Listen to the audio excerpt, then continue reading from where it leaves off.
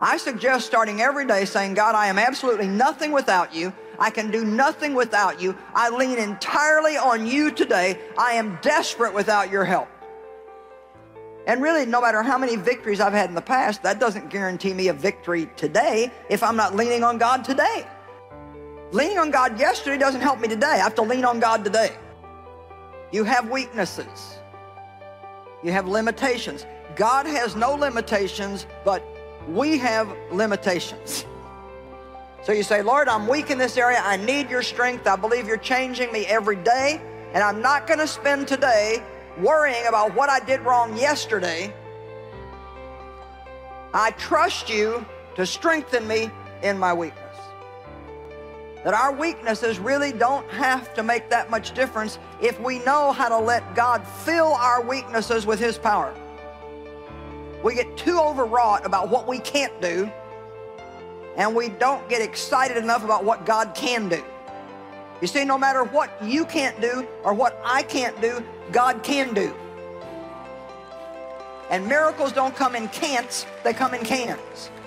Well, we get what we believe for. Let's start believing that the power of God is available to us to see miracles in our lives and in other people's lives. We're not going to have miracles if we don't believe for miracles. We have to believe in the miracle working power of God. When we go to God each day, the right attitude is God, what is it you want me to do? What is my assignment? Not giving God orders, telling Him what to do, how to do it. Rather, God, show me the best path. Show me how to overcome this problem. Show me how to accomplish my dreams. God wants us to rely on Him, not some formula.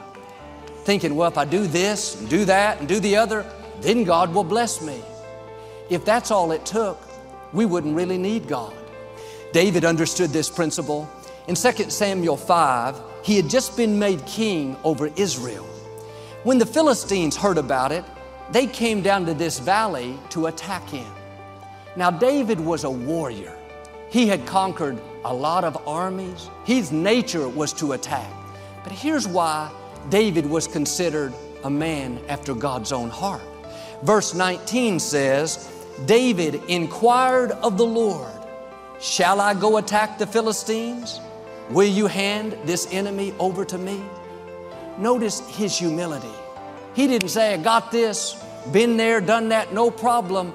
He took time to inquire of the Lord. Before he went to battle, he got quiet and said, God, what do you want me to do? He was getting his daily direction. He didn't assume because something worked in the past, it was going to work right there. He asked a very significant question God, will you hand this enemy over to me?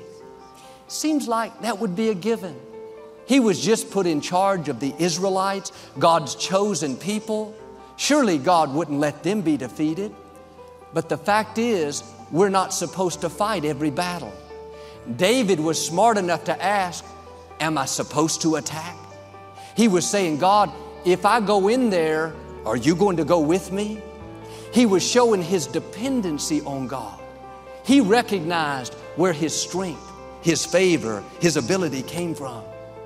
And sometimes we assume if there's an obstacle, there's something trying to stop us, there's no question. Get in there and go to battle. God is on our side. But a wiser approach is to say, God, what is your plan? How do you want me to respond to this opposition? Shall I attack or shall I be still and let you fight for me? If I go in, God, are you going to go with me? We've all fought battles where we didn't come out the way we thought.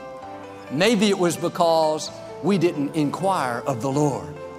Verse 19 goes on to say, The Lord said to David, Go, for I will surely hand the Philistines over to you.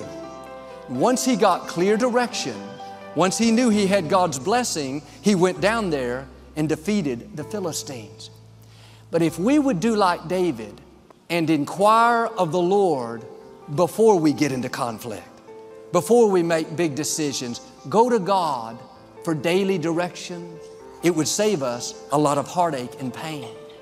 I've learned what God orders, He will pay for.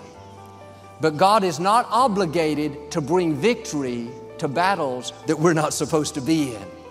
And yes, God is merciful. Yes, He'll help us, but it's much better to inquire of the Lord before you make important decisions.